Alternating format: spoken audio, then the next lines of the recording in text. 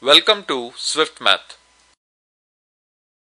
This video shows a simple and extremely fast method for squaring a three-digit number whose middle digit is 9.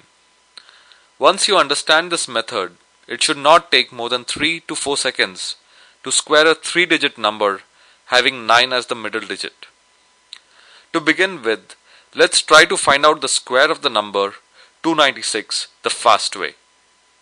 The first and most important step in this process is to arrive at a three digit number whose middle digit is 0. In order to do that, we initially need to subtract 296 from the closest multiple of 100 and multiply the result with 2. The multiple of 100 closest to 296 is 300. So subtracting 296 from 300 gives us 4 and multiplying 4 by 2 gives us 8.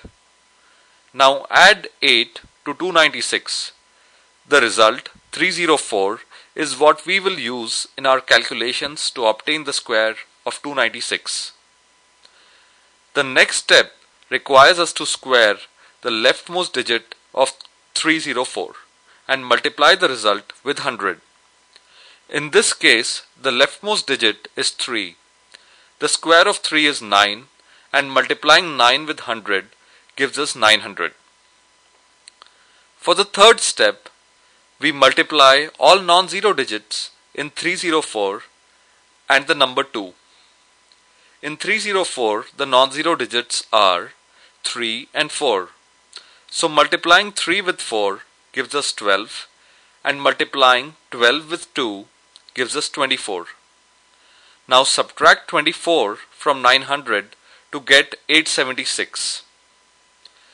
In the last step, we square the rightmost digit. The rightmost digit in 304 is 4 and squaring it gives us 16.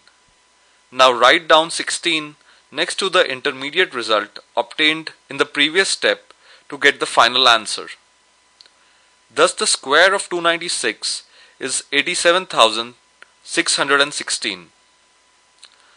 I'll consider another example.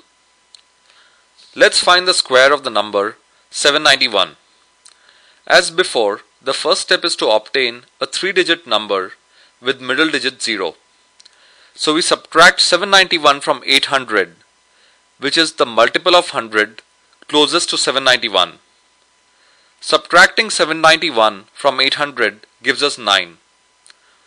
Now multiply 9 with 2 to get 18 and add 18 to 791 to obtain 809 as shown. In the second step, we square the leftmost digit of 809 and multiply the result with 100.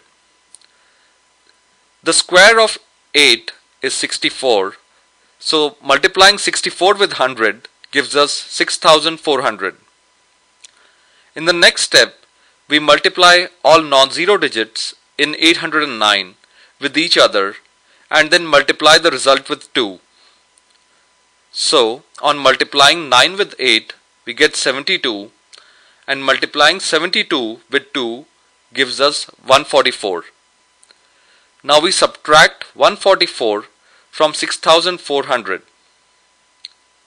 The last step, which is the simplest, requires us to square the rightmost digit 9. Now write the square of 9, which is 81, next to 6256 obtained above to get 625,681. This is the square of 791.